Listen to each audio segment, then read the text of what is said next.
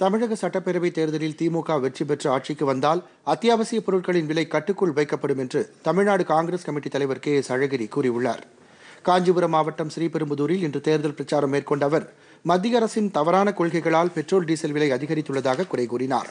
காங்கிரஸ் கட்சி காலத்தை விட பெட்ரோலிய பொருட்களின் விலை அதிகரித்துள்ளதாகவும் சர்வதேச சந்தையில் கச்சா எண்ணெய் விலை குறைவாக இருந்த காலத்திலும் உள்நாட்டில் பெட்ரோல் டீசல் விலை குறைக்கப்படவில்லை என்றும் அவர் தெரிவித்தார்.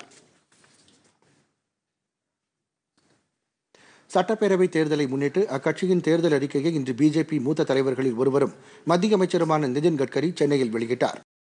ரேஷன் பொருட்களை வீடு தேடி கொண்டு சென்று வழங்கும் திட்டம் அமல்படுத்தப்படும் என்றும் மீண்டும் சட்ட மேலவை கொண்டுவரப்படும் என்றும் அதில் அறிவிக்கப்பட்டுள்ளது.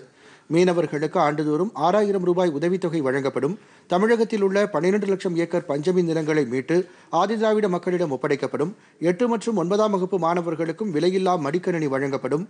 பூரண மதுவிலக்கு அமல்படுத்தப்படும் உள்ளிட்ட வாக்குறுதிகளையும் பிஜேபி அறிவித்துள்ளது. சென்னை மாநகரை மூன்றாக பிரித்து மூன்று மாநகராட்சிகளை உருவாக்கும் திட்டத்தையும் தமது தேர்தல் அறிக்கையில் பிஜேபி வெளியிட்டுள்ளது.